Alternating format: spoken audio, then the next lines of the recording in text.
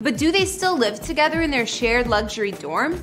However, as of May 2020, Lisa reported that the four girls still live together, and they have been since before 2016. It's been a few years since chart-topping K-pop group Blackpink blew up the music scene. Even though it said the ladies still share their luxury dorm, which we'll check out shortly, some members have revealed that they also purchased their own place too, one of them being Jennie. But the girls didn't always live in such luxury.